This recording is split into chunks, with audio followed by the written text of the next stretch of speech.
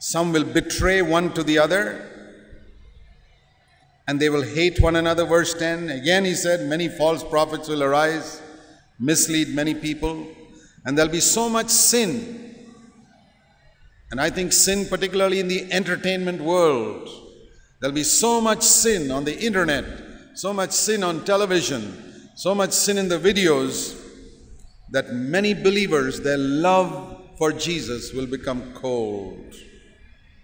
You know, you can't watch a filthy movie without your love for Jesus becoming cold. Your love for Jesus has to become cold, then you watch that filthy thing on the internet or television or a video. This coldness has come first, and then only that. You can't be on fire for Jesus Christ and have anything to do with the impurity that is in the entertainment world today. The devil is out to make your love for Jesus cold. Don't think, oh, I slipped up. Five minutes I watched that. It's not a slip up, brother, sister. Your love for Jesus has become cold. How did it start? It didn't start with the internet pornography and uh, filthy movies. You've heard the old parable, I don't know whether it's parable or true, how to kill a frog in boiling water. You put a frog into boiling water, it'll jump out. But put a frog into water at room temperature, it'll be comfortable there. Raise it by 2 3 degrees, the temperature. 2 3 degrees, it's almost the same. Make it comfortable. Keep it there for half an hour in that temperature. It's got used to 45 degrees centigrade now. After it's used to that, raise it to 50 degrees. It gets used to 50 degrees. After half an hour or one hour, raise it to 55.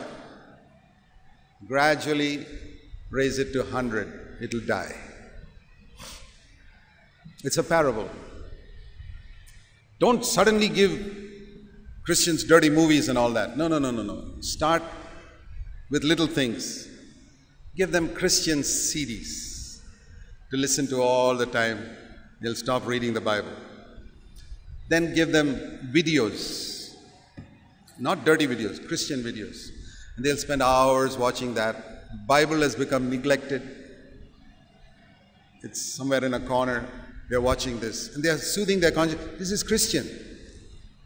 Three hours of this. Bible, yeah, I read it five minutes in the morning. Okay. Conscience is easy because I read the Bible five minutes in the morning.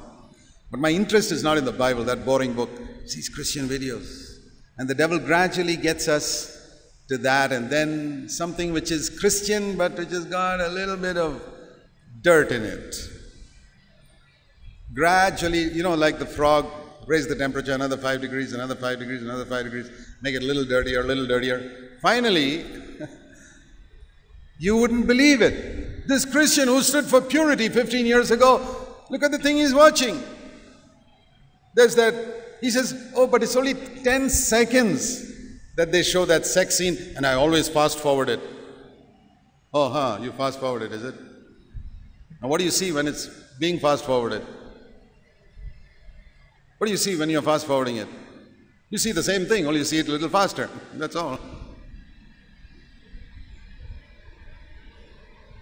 What a work the devil has done. I tell you, I have to acknowledge the devil is cleverer than any human being. The Bible says he's wiser than Daniel.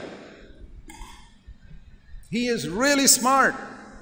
How did he succeed in getting so many Christians who 20 years ago really studied the Bible to go away from that as if they knew the Bible? They don't know the Bible much now, but he's taken them away by telling them, yeah, yeah, it's slowly, slowly, slowly, and finally they are in filth and rubbish, but they come for the conferences, they think they are holy because they are part of CFC. No, sir. No, madam, you are not holy. You were once upon a time, but you have drifted. I'm inviting you to come back. Be ready.